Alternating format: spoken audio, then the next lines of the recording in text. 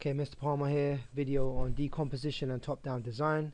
I'm going to blaze through this one super fast so I don't get locked into the school building now. Alright, so the big questions basically are why decompose? And I'm not talking about breaking down your body when you die, but looking at breaking down problems so we can understand them better. Okay, so how big? If you look at that um, table on the right hand side, you can see lines of code. And this is an old table, obviously we've moved on from the days of Windows Vista, uh, but you can see in terms of lines of code, Alright, Android, and this was an old version of Android, 12 million lines of code, Microsoft Office 30 million. At the top end, you saw Mac OS 10, 86 million lines of code, Windows Vista 50 million. Okay, I think Windows um, 7 or something was really bloated. It was huge number of lines of code. Okay, so you can see obviously uh, there's not one person working on a problem, uh, and there could be a really large amount of co um, code in the code base. Right. So top-down design basically is about taking a task, splitting it into subtask, taking a subtask and splitting that into subtask and you keep going down. Okay, so eventually you end up with small enough functions that can be easily programmed. So if you think about when we're using uh, Microsoft Windows, okay, or using pretty much any any um, operating system and software application, we got uh, cut, copy, paste, okay, small functions that can be easily programmed and then used in several other different places, okay. So this process of taking tasks, splitting into subtasks, splitting a subtask into subtask and drilling down slowly is called stepwise refinement, okay, because you're refining the problem uh, in a, on a step-by-step -step basis, okay. You've got hierarchies within your um, uh, application. So what we're talking about basically is you can uh, uh, you're assembling all those functions together afterwards to combine them to create the main solution for that big problem that we have alright?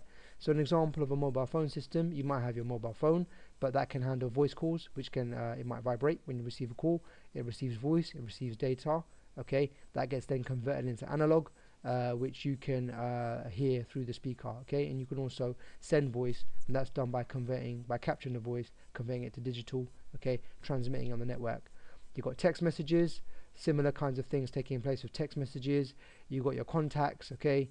Uh, when you enter contacts for example into your phone you're tapping away on your keyboard then your, your phone often vibrates providing you with some kind of feedback okay? Notice that vibrate appears several times on that stepwise refinement diagram okay? Because your phone vibrates when you receive voice calls vibrates when you receive text messages it might vibrate when you're playing a game okay? It might vibrate when you're using a keyboard. So basically we are we're identifying functions uh, within a particular um, problem which is within another larger problem within it so we're, we're, we're going down in levels. Oh, oh, I've just said it backwards going up okay? So um, if you imagine uh, my simple problem okay? I'm gonna st start a mobile phone company. I got two people working for me they've got uh, different specialisms okay? And I want to develop a dumb phone this year with an accelerometer in it and next year I'm going to create some fancy super duper 4G uh, touchscreen model mobile phone okay? So why would I be interested in using stepwise refinement or a top-down approach okay uh, in order to um, you know develop my products okay? So First of all, it's easy to write and test the program because when I got small functions, okay, they're shorter, which means they're easier to write and they're also easy to test and debug. Alright? It's easy to see the relationship between different functions in this top-down design, okay? So then that prevents interference between different functionality on my phone. As each function is written, it can then be uh, you can do integration testing to make sure that two different functions work together without interfering with each other. It's easy to manage your team members because you can assign multiple people to the same task. Okay, you can also put people on specific tasks.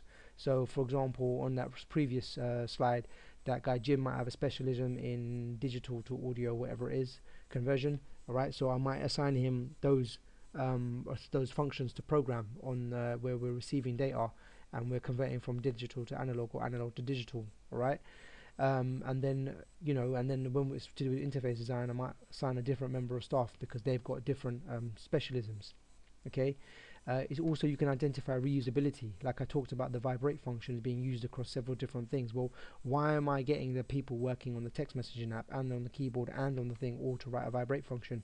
Someone just needs to write one which can then be reused by many different people okay? So your code base becomes smaller and you're less likely to have bugs. And it also makes it easy to update in the future because you're only updating one part of your code base not the whole thing alright other reasons for using top down is you're breaking the problem down into functional components okay? So it's easy for you to see what needs to be done where all right? This kind of approach was popularized really in the 1970s okay? Um, you know because this is how they was you know this really kind of hierarchical top-down structured way of, of seeing things uh, top-down design doesn't have to be hierarchical. You can also think about parallel processes because things don't often just happen one after the other in a sequence. Often in, in modern applications we, we're making use of multiple threads all right? So um, you can you can use top-down design to, to think about that uh, parallel approach you can also instead of thinking about hierarchies and um, processes you can think about data flows okay? So you can actually map out where the data is moving around the system where it is being stored and where it is being used okay? That will also then help you to identify um, what might be going on within your program all right? Problems with top-down design though is this assumption that we know the whole solution in the beginning all right? And this is linked to the problems with top-down hierarchical approaches like the waterfall solution okay, the waterfall method which you know you've done your analysis so therefore you've got the requirements therefore you do your design and so on and so forth okay? And we know that in the real world okay things don't work like that. Uh, plans change ideas change okay? The market might change uh, you know and so your software needs to adapt in order to be successful uh, event-driven programming also is another um, paradigm okay? A way of programming and top-down design doesn't really work well with event-driven programming because you're not really breaking down functions.